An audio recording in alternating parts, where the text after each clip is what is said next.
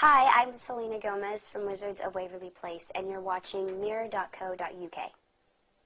Okay, yeah. So welcome to welcome to England. Thank you. Um, what do you what do you think of uh, our country so far? It's exactly what I pictured it. I think that it's it's um it's got so much culture to it. Where I'm from, there's not that many museums and beautiful buildings, and I and I admire that so much. And I love the weather, and I love having to be able to put a coat when it's actually cold outside Oh, because really? it's not cold anywhere I'm from. So And who? I mean, because you're sort of with Disney, you're following a, a, a line of sort of very established and very talented um, people. I mean, uh, who who have you admired, say, and, and who do you not necessarily want to emulate their career, but who do you really admire and, and, and I actually like Shia LaBeouf's kind of career. He started out um, in Even Stevens in his own series for Disney Channel, and then he kind of branched off a little bit. He did a couple of Disney features, and then now he's off doing fantastic movies, and he's one of my favorite actors now. So I've always admired how he branched out.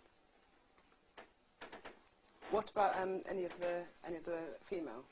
Um, Hilary Duff actually has done a very good job as well. She's kind of has this this whole merchandise thing that she kind of branched out and created her own name rather than just Lizzie McGuire, and I admire that as well.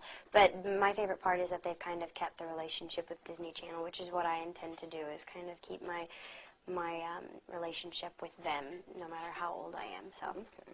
I mean, it just seems so much fun. There's so many exciting things happening with Disney at the moment, with High School Musical, and and is it as much fun as it as it seems to us on the outside so to be to be part of? Absolutely. I think Disney Channel is probably the best company to be a part of. They, they really know how to take care of their kids, and we're just, we are one big family. The, every single one of the shows and projects that they put together, you just, you create this friendship with everyone, even if they're not on your show. And I think that's really nice that they kind of have the kids get involved and with each other. So it just kind of shows that they really are a family.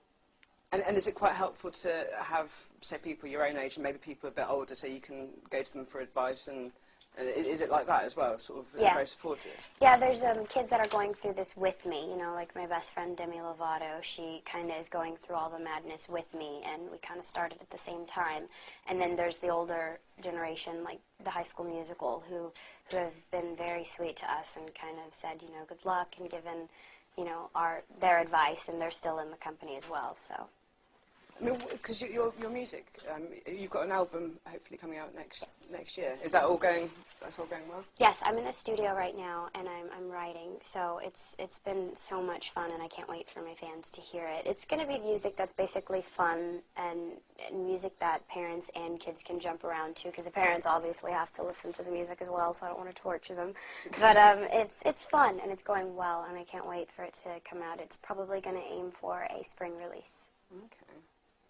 What, and what, what are the, the, say, the tougher sides to, to fame and, and, and what you do?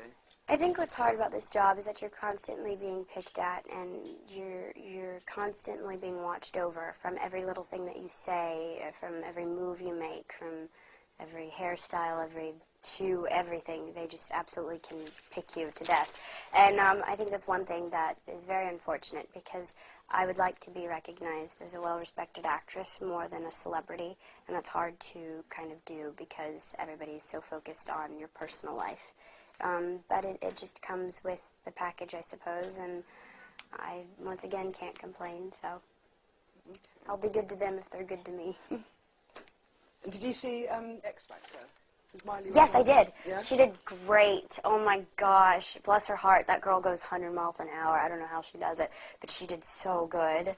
That performance was killer. She did great. I loved what she was wearing, too. It was a really cute outfit. Okay, can I ask one, one last question? If, if, if, you weren't, if you weren't doing what you're doing now, what would you, what do you think you would have done instead?